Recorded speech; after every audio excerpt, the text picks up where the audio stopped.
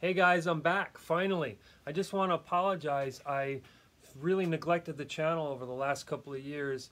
Um, life has been busy. My painting career has been going gangbusters. Things have been going really well, and I've just been having a grand old time painting, selling lots of artwork. Um, and so making tutorials have really taken a back seat. They take a really long time. Sometimes to make a three minute video, five minute video can sometimes take in excess of six hours or so. All the video retakes, the editing, putting it together, making sure the sound's right. Um, that's unfortunately the perfectionist in me, right? And I'm sure you guys can relate. If you're if you're a painter, you want to get all the details right, and sometimes that just takes a long time.